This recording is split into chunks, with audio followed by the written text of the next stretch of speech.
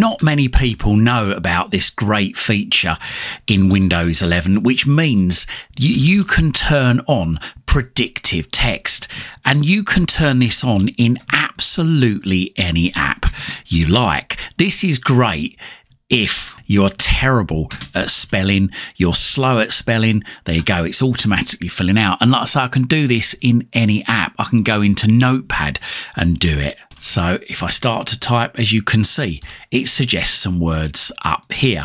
There we go. I can do it in emails, in Notepad, in Word. The only place I can't seem to do it actually is in Bing. If I try searching for something in Bing, it doesn't come up with a suggestion there, but it does actually come up with suggestions underneath. But if I go to Google, the suggestion still comes up. So all I do is I type the word, and as I'm typing it, if a suggestion comes up, then I just literally click on it and it fills it out for me. It really is as simple as that. This is great if you're struggling to find what word you want to say next or spelling a word as such. You just got to type in a few letters and then hopefully it will suggest it and you can just click on it. So how do we turn this on? Well, it's very, very easy. All you do is just click on the start button at the bottom of the screen. That's the blue squares and then go across and click on settings. These are all left clicks, by the way. Then click on time and language just over there on the left and then click on typing just there.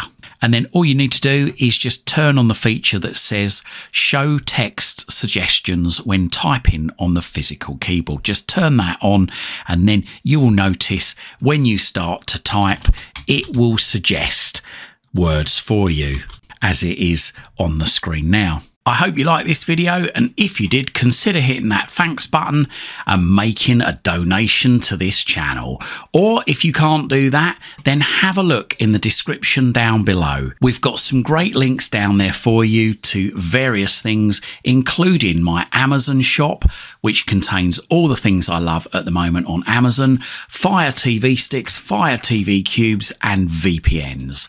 Buying, subscribing and donating really does help help support this channel. It helps me to be able to dedicate more time to spend researching to bring you these great videos.